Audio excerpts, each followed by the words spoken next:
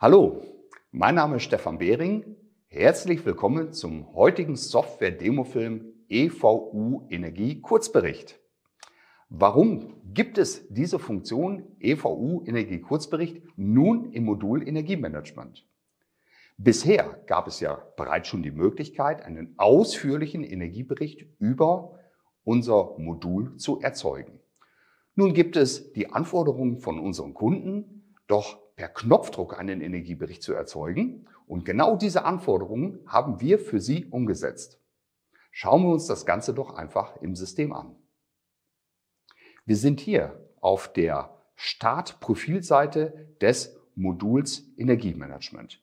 Wir sehen hier Kosten und Verbräuche über alle Objekte auch in diesen grafischen Charts. Im oberen Bereich gibt es die Möglichkeit, die Energieberichte in der bisherigen Form zu starten.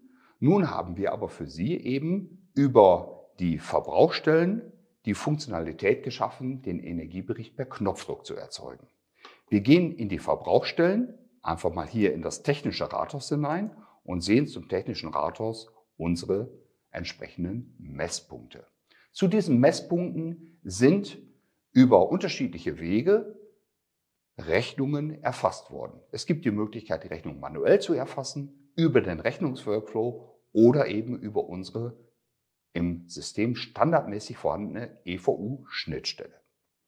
Nachdem die Rechnungen erfasst worden sind, gehe ich einfach mal auf unsere Verbrauchsstelle, technisches Rathaus, habe hier oben diese Funktion EVU-Kurzbericht und habe hier an der Stelle die Maske die ich bereits vorkonfiguriert habe.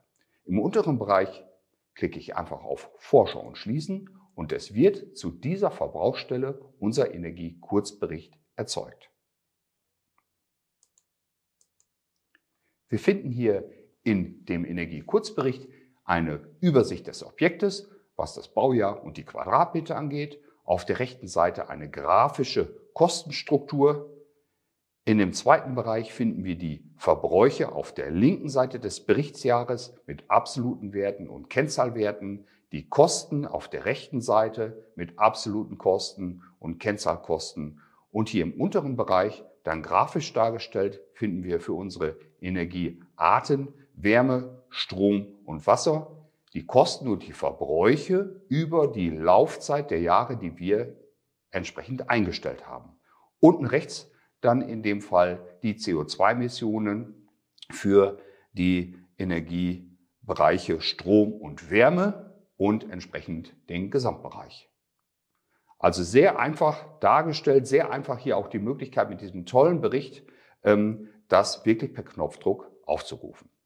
Das Ganze können Sie natürlich auch mit einem mobilen Gerät gestalten. Das heißt, wir sind ja hier völlig unabhängig von der Geräteart und wenn Sie zum Beispiel in einer entsprechenden Sitzung sich befinden und benötigen einfach mal diesen Energiebericht, können Sie den auch über Ihr mobiles Gerät direkt abrufen aus dem System. Also eine sehr einfache, flexible Möglichkeit, die wir standardmäßig in diesem Modul für Sie bereitstellen.